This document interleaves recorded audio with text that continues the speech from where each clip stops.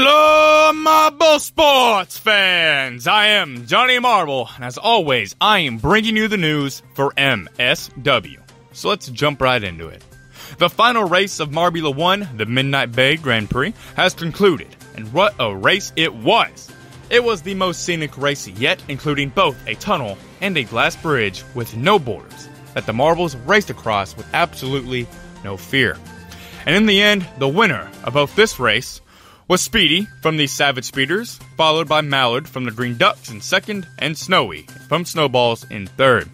On top of that, the results of the individual racers are here, and in first overall is Speedy. Snowy takes second, and Smoggy places in third, with each place being only separated by a single point. Finally, the moment you've all been waiting for. The champion of the very first Marbula 1 is the Savage Speeder! Speeder, Speeder, Speeders. hey, it is a truly good day for everyone who is a Speeders fan. Me as an Oranger fan, not the best day, but hey, congratulations to them.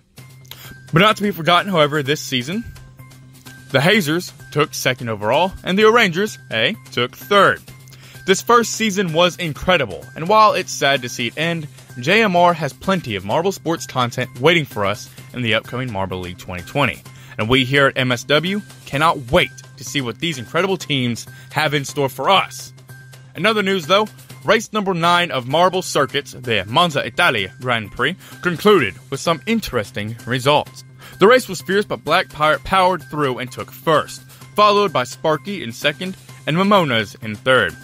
Similar to last week's race, however, the most interesting part of this race was at the back, as Pink Pearl, the marble, who had just dethroned Sea Turtles in the overall standings, placed dead last with 5 seconds between them and 11th place. As a result, Sea Turtles have reclaimed the top stop overall, but because they only finished 8th, the gap between the two is only separated, again, by a single point. So this rivalry is still going on, and with three races remaining, there's no telling how it'll shake out in the end. Well, guys, that's the end of my sheet. You have been the best fans in the world. I've been Johnny Marble. Let's kick it back and continue on with the podcast. Woo!